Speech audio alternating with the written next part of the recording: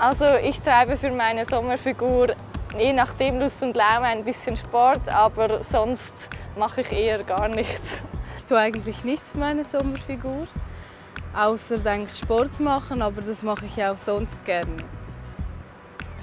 Jeden Frühling kommt wieder die Frage nach der Sommerfigur. Bei mir ist es so, nach mehreren zahlreichen misslungenen Versuchen habe ich es aufgegeben und nehme mich einfach, wie ich bin. Nein, mit pflanzlichen, natürlichen Präparaten habe ich es nie versucht. Übergewicht kann man nach verschiedenen Kriterien bestimmen. Eine davon ist BMI, also Body Mass Index, das ist wahrscheinlich die häufigste.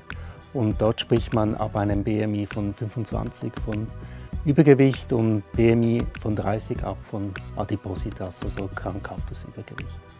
Aufgrund der Studien, die wir in der Schweiz haben, die sich auf Befragungen beschränken, das heißt, die Leute werden befragt, wie groß und wie schwer sie sind, können wir sagen, dass ungefähr die Hälfte aller Männer übergewichtig oder adipös sind, das heißt einen BMI über 25 haben und bei den Frauen ist ungefähr ein Drittel betroffen.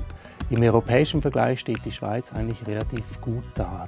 Die Nahrungsmenge zu reduzieren ist sicher ein ganz wichtiger Faktor im Bereich der Diätetik bzw. der Gewichtsabnahme. Prinzipiell ist es sehr wichtig, auf die Zusammensetzung der Nahrung zu schauen. Wer im Verlauf des Tages immer wieder etwas Süßes isst, der bringt den Körper dazu, dass er Insulin produziert und ausschüttet. Und das führt dazu, dass eine ganze Reihe von Reaktionen ablaufen, die zum Beispiel dazu führen können, dass freie Radikale entstehen und dadurch die Zellalterung möglicherweise beschleunigen. So über dem Daumen gepeilt sagt man, dass etwa ein Drittel der Kalorien, die wir reinnehmen, aus Fetten bestehen sollen und dort hauptsächlich aus äh, ungesättigten, das heißt aus mehrfach und einfach ungesättigten. Ein bisschen aufpassen müsste man bei tierischen Fetten, das heißt die sogenannten gesättigten Fetten äh, und bei frittierten, weil sich dort die Fette verändern können in eine Richtung, die man nicht möchte. Es besteht die Möglichkeit, mit Hilfe der Komplementärmedizin das Abnehmen zu unterstützen. Wir wissen aus den asiatischen Medizinalsystemen, dass es ganz wichtig ist, auf die individuelle Konstitution einzugehen. Und hierbei kann man auch ganz genau herausfinden, in welchem Bereich des Körpers das Ungleichgewicht liegt, mit der entsprechenden richtigen Nahrung auf dieses Ungleichgewicht einwirken, gleichzeitig auch Phytotherapie verabreichen, um diesen Prozess zu unterstützen.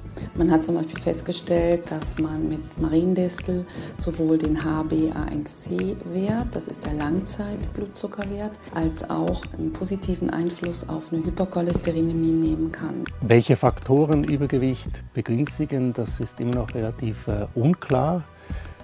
Klar ist, dass ähm, ein Kalorienüberschuss dazu führt, weil äh, der Körper kann die Energie nicht vernichten, sondern muss sie irgendwie speichern. Die Frage ist, ob ähm, Bewegung wichtiger ist als Ernährung oder umgekehrt.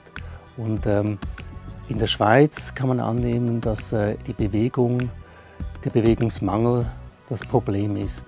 Also man weiß, dass pro Woche drei Stunden Sport, also dreimal pro Woche eine Stunde Sport, schon ausreichend ist, um einen positiven Effekt aufs Fettgewebe, die Reduktion des Fettgewebes erzielen zu können.